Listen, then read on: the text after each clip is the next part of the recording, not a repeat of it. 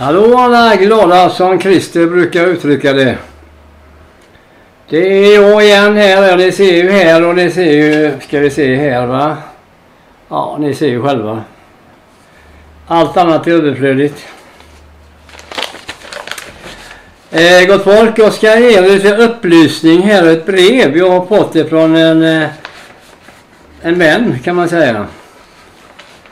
Faktiskt. Eh, som jag tycker är väldigt bra. Och, och, och jag vill gärna läsa detta. Det är fyra A4-sidor. Men det är värt att lyssna på tycker jag. Och sprida gärna vidare. Det börjar så här. Överskriften låter som följer. Koldioxid. Koldioxid är en gas som förekommer ganska nära jordytan eftersom det är där den behövs för att förse all grön växtlighet med näring. Fotosyntesen kallas det när växter omvandlar sol, vatten och koldioxid till syre för oss att andas och för att allt förbränning ska kunna äga rum. Och för att växterna ska kunna växa. Koldioxid har funnits i jordens närhet ända sedan tidernas begynnelse. Detta beror på att världshavet som täcker tre fjärdedelar av jordens yta lagrar koldioxid. När det är sommar på norra halvklotet blir haven varmare och släpper då ifrån sig mer koldioxid. För, det är, för att det är då den behövs för, till, för växtligheten. På vintern när det blir kallare lagras mer i haven och vice versa på södra halvklotet. Den förbränning vi åstadkommer koldioxid med, med blir reglerad dels av, av haven och dels av växtligheten. Mycket tänkvärt det här tycker jag. På ett år har jorden fullbordat ett varv runt solen. Det är därför vi får årstider. Efter som jorden lutar ett antal grader i förhållande till sin egen centrumaxel når den cirklar när den cirklar runt solen och runt sin centrumaxel på ett dygn. I närheten av, ek, närheten av ekvatorn blir jorden ungefär lika belyst hela året. Därav inga årstider att tala om.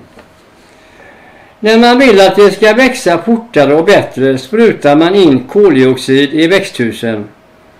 Tillsammans med vattning och eventuellt näring tillsatt och extra mycket solljus så kommer det in genom de stora glasytorna växer det bättre än naturligt utomhus. På detta vis blir det ett fullbordat eh, kretslopp utomhus såväl som i växthus som är själva reglera, självreglerande. Mer koldioxid ger bättre växtlighet och bättre växtlighet ger mer upptag av koldioxid och producering av, och producering av syre. Därför gör det ingenting att vi producerar mer koldioxid. Mycket tänkvärt det här. Avgaserna renas ju närmare från så gott som allt utom koldioxid när våra fabriker och bilar släpper ut avgaserna. Utsläpp utan rening smutsar naturligtvis ner och det är inte bra men koldioxid kan och behöver vi alltså inte ta någon hänsyn till. Det är själva, självreglerande. Det tänkte vår Herre på redan vid tidernas begynnelse. Det är det här snacket om koldioxid från morgon till kväll i massmedia, alltså bara skitsnack eller bullshit som det på engelska engelsktalande säger. En av Världsnaturfondens grundare, Patrik Moore, uttrycker det som så att det är världens största bluff som så många andra konstruerade sanningar som världens ledare brukar svänga sig med. Tyvärr tror de flesta på ledarna gör inte det. Mycket de säger har inte ett dugg med verkligheten att göra. Det är deras egen agenda för att de ska kunna lägga mer skatt på oss och hålla oss i, eh, strama tyglar. Undersök själva. Det finns alla sanningar att eh, hitta på internet eller i böcker så har ni snart avslöjat de skojarna. Några siffror som talar om vad luften omkring oss består av. Kväve 78,08 procent. Syre 20,95 procent. Argon 0,93 procent och koldioxid 0,04 procent. Om koldioxid skulle sjunka till under 0,015 procent dör allt liv.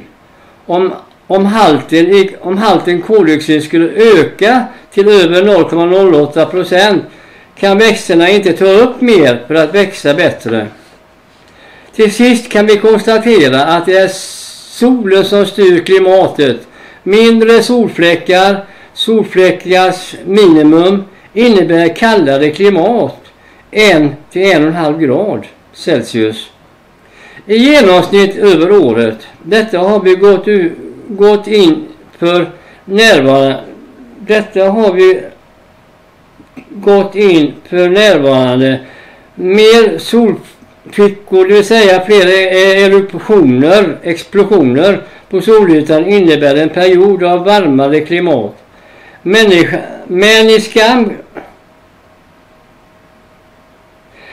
Människan kan inte göra något åt klimatet. Vi kan, bara, vi kan däremot göra något åt miljön.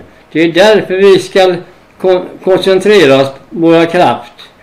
Med vänliga hälsningar en eh, skribent då.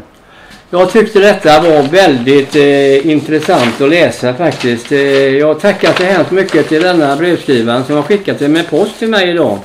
Jag fick det idag med posten. Eh, jag blev väldigt glad och jag har pratat med vederbörande och tackat honom. För det var väldigt intressant tycker jag. Hoppas ni tycker likadant. Och ni, jag önskar att ni kan sprida det här budskapet så mycket som möjligt. Så eh, fler kan ta del av det och kanske kontrollera själva som man sa. På internet och böcker och allt vad det finns va. Men eh, det var väldigt intressant tycker jag och eh, jag tackar än en gång för det fina brevet. Jättefint var det. Så tack så hemskt mycket bästa skribent. Och eh, ni får ha det så bra ni andra. Ni får sätta igång och leta i böcker och internet och se om det stämmer. Men det är jag helt övertygad om att det är så. Med dessa ord säger jag Tjingeling!